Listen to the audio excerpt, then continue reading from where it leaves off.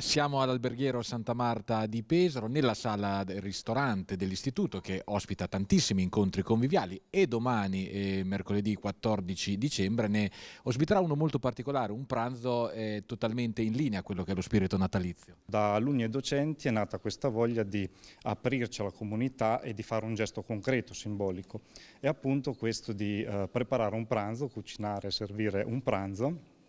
eh, appunto il pranzo di domani che sarà diciamo, aperto a 55 eh, invitati, ehm, in particolare a chi si rivolge a Casa Tabanelli eh, gestita dalla Caritas diocesana di Pesaro e a Casa Mariolina gestita appunto da ehm, volontari della Città della Gioia.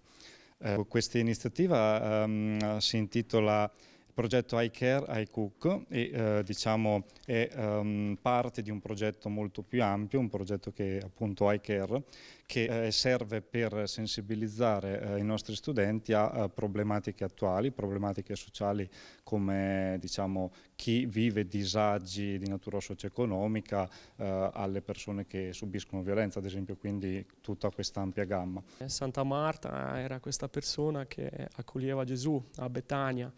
Perciò eh, voglio sottolineare il fatto che Santa Marta accoglierà queste persone più bisognose,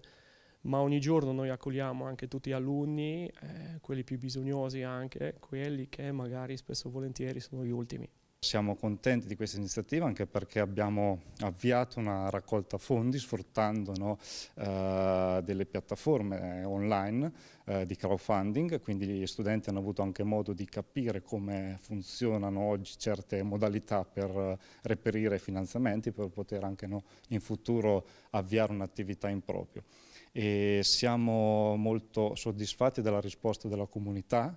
eh, perché abbiamo, insomma, ci siamo posti un obiettivo di 600 euro per insomma, eh, reperire le materie prime e tutto ciò che è necessario per il pranzo e ovviamente con l'eccesso anche poi fare una donazione diretta a queste associazioni. E abbiamo raggiunto questo obiettivo, quindi ringrazio nuovamente eh, la comunità Dunque il nostro motto è stato quello di si cucina sempre pensando a qualcuno, altrimenti si sta solo preparando da mangiare.